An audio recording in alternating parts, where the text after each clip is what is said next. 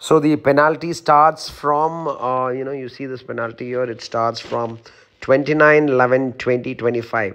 So, guys, quickly pay, else pay penalty.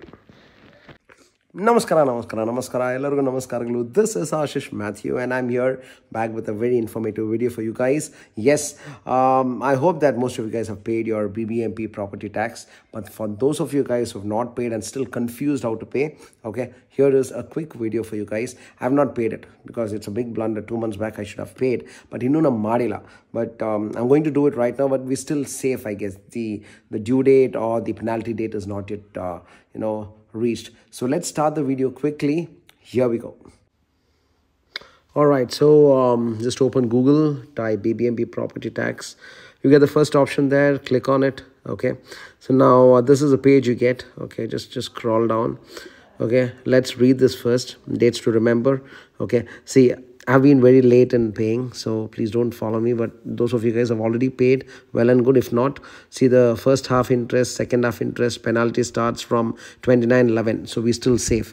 Okay, um, so yeah, so that is the thing. So the last one is the most important part penalty starts okay ಅದು ಯಾವತ್ತೊಂದು ಗೊತ್ತಿದೆ so please make it as soon as possible ನಾನು mistake ಮಾಡಿದ್ದೀನಿ ನಾವು let's type the ten digit application number are the P I D number ನಾವು from ವ್ಯಾಡ್ you get this you might how paid your tax previously okay so ಅದರಲ್ಲಿ on top left top corner you have something known as an application number you know i just go ahead and copy it and i come here i you know um, enter this and uh, then you can just type your three digit um, um, three digit alaguru your name the first three letters of your name.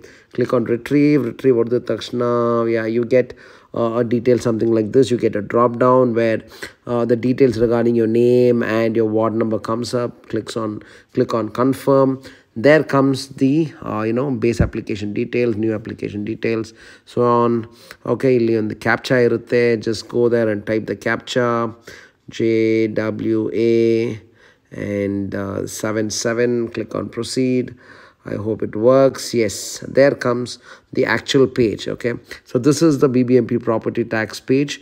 Okay, and uh, you get all the details mentioned here. Okay, so what you need to do is just scroll down, and lastly, you know, they have added something new. Are you yourself a bulk waste generator or part therefore? Normally YONO ನಮ್ದೆಲ್ಲ ಮನೆಗಳಿರುತ್ತಲ್ಲ thirty forty sixty forty the houses residential houses you know it's it's not YONO so we come under the no category but if it is S then what happens